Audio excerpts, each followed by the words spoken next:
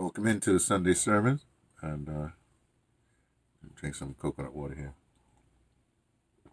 Where's this one from? Got this from Trader Joe's. They're from uh, pasteurized. Blah, blah, blah. I hate that pasteurized stuff because um, product of Brazil. Not bad, not bad. So far, the only country I don't like that comes from is uh, is Philippines. Uh, so we keep on going. Uh, pretty good. Uh, as you know, we read from, uh, this is our scripture, our Sunday scripture, our everyday scripture, actually.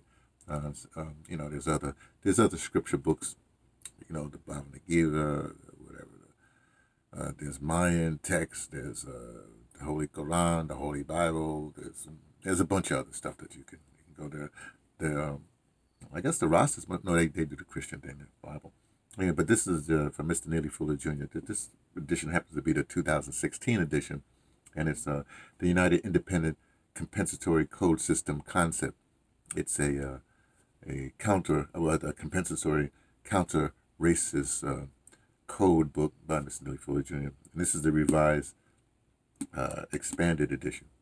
And as it says here, people should know this. You know, this this you read like I say, read like scripture. You just you know like like you know like scripture, like like when I read the Gullah, when I read from uh, where's my Gullah? Oh,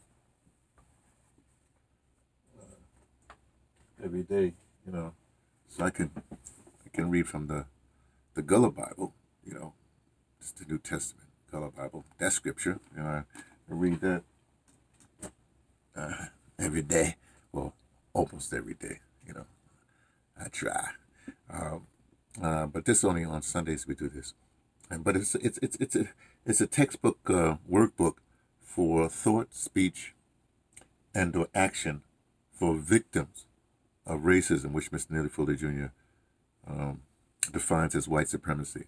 Now this is this is a like I said, this is the 2016 edition, and it comes with a word guide. There's another separate thing, a word guide, and uh, but this the original one is the, the the 1984 edition, which I actually have. You know I bound it up. It's down in South Africa, and we use that down at Lhote House, uh, which is like a little community center that, we, that we have down there. It serves the uh, well, well, it serves the the Baza community down there in the Eastern Cape. So that anyway, but last week uh, we had read uh, and and with the book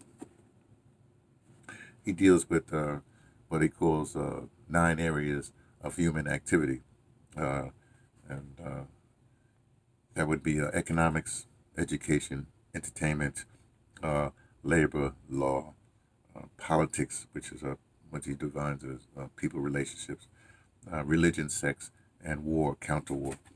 Now we well, last week. Now usually uh, I I you know go someplace and pick some up, and before I do these, I just you know I sort of go over it, and just figure out what I'm going to say. With the Gullah Bible, what I do, I just I just pick up any place and just read because I'm trying to deal with the language and, and the culture. But this, I do think. Now, last week, well, and we read this one section uh, about stop cursing. I went into that. But uh, I decided, you know, rather than go to another page, and this is the area six of, of uh, politics, which we call people relationships. Uh, and this on page uh, 256 of, uh, of this edition. Um, but I decided, I saw right next to it, it's called uh, next. There's a, the stop cursing was a third point in this uh, in this section. This is the uh, fourth point uh, called Stop Gossiping. And I decided, all right, this is, I'm going to do this next week. Well, well, well I'm going to do this now. Uh, and, and hey, luckily for me, my sister, because I, I left my reading glasses one pair down in Virginia, but uh, up here in New York now.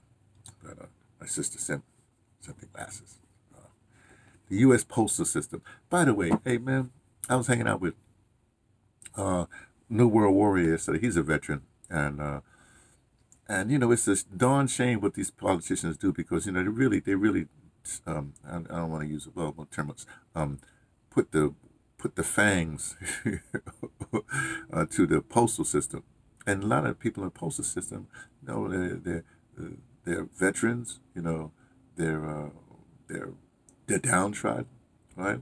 And it's a good job for them, but they put it so that it's almost impossible to work for them. Meanwhile, you know, They meaning the politicians, whatever have you. And it's it's just a darn shame. Anyway, but she sent it by the postal system. It's fine. It came in two days. That's good. I don't need any more than that. So something's got to be done. Instead of trying to, instead of, instead of, uh, here's what they do. I'm sorry, going off. Uh, uh, Joe the Biden, the Bitterman guy, he just he's gonna he's gonna free all federal prisoners that that came up on marijuana charges, solely marijuana charges.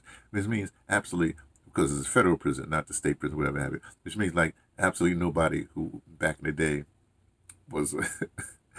you got to read the headlines, man. It's it's it's it, well, people read the headlines; they don't go into details. But it frees absolutely nobody because nobody is in federal prison solely for marijuana charges. They always pile stuff on, you know. So it's a shame, you know. It's just a shame. So I just had to go off on that because I don't know, but do they? Let's stay with the code. Uh, stop gossiping is the section here. To gossip, he puts that in quotes, about a person is to say something about that person to someone other than that person that you would not be willing to say directly to that person. At the same time and place with those other persons listening. Okay? Gossip promotes injustice. And as you know, let me, well, I'll get back to it. Promotes injustice. Oftentimes, it leads to hostility, which in turn often leads to snitching, name calling, cursing, fighting, and or killing. Gossip promotes confusion and unnecessary suspicion.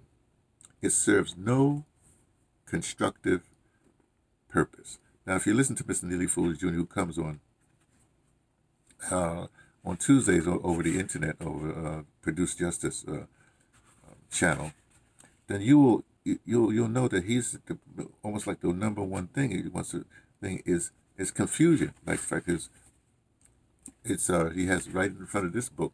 He has this saying here that he wrote in, in 1971. It says right. It says if you do not understand white supremacy, which he says is racism, right? And I say it's a system of white supremacy. What it is and how it works, everything else that you understand will only confuse you. You see? So that gossiping promotes confusion, right? And there is, therein uh, lies a problem, you know, a huge problem, this confusion problem. Now, there used to be a thing, uh, I guess in the 70s, early 70s, 80s, something like that, where um, in an office you had what they call uh, memo wars, you know, where people would write uh, write memos and uh, and then you know you, you or, also or, or, or off uh, what you call office gossip, and it was to undermine uh, somebody in the office. somebody else. You're sort of sabotaging them, and they spread by gossip. That's that's how they used usually do it by by gossip, and so that's why it's so dangerous. I had a situation. In fact, let me. This might be illustrative. Hey, the brother used a big word. This must be a bit illustrative. Uh, and that we had the thing uh, uh, at WBAI radio when they had this the the infamous uh, turn of this turn of the well it kept like what 2002 2003 uh, infamous coup well, actually it's 2002 at WBAI, and there was a lot of stuff going around. And this guy, uh, uh, what was this man's name? Uh, uh, Clayton Riley. Wow, I said his name. Now, he was part of the people trying to take over. And Bernard White, who was the uh, program director at the time, was sort of ousted. Well, sort of, he was ousted, right? So you had these two factions, and somehow my name got all involved. Uh, you know, um, and and it was a thing where either uh, Clayton said something about me and Bernard, and, and somehow Bernard got involved, and they were like, so what I did on the radio, right? Clayton was doing his thing. I got Bernard up there, and I said, look, here's what's saying, blah, blah, blah, blah, blah. And I got those two. I said, so now you see, I'm not in this. You two talk about it. And I left the room. So they had to deal with, with, with the gossip that was happening. So, so I mean, gossip can be very, uh, very harmful. Okay. So, so, so, so with that, with just that little uh, thing, I'm trying to look up something here. I'm trying to, uh, uh, just a second. Uh, I'm gonna have to highlight that. I have to find it another time, maybe next week. Um, so that's it. I mean, you, you, we want to avoid confusion, and, and that's what people do. You know, especially with the age of the internet, people don't have to gossip behind your back. They they gossip and something is posted, right? And if nobody knows what that post, I mean, and then, and then people react to that post, and since it's like millions of people that are that are getting this post, but by the time it gets whether they correct, even if it's correct, it's like newspaper, same thing. They say something or headline something like that, and if they retract it or correct it, like a few days later, basically the stuff is already out there, so it's done. So then you you actually are now dealing with the the uh, the gossip, the lies, the the, the, the snitching, whatever it is, uh, the, rather than the it. You see, and therein lies a huge problem. Uh, so says uh, me, T from the Pattersons, taking the train to Tibet, letting you know what I only suspect.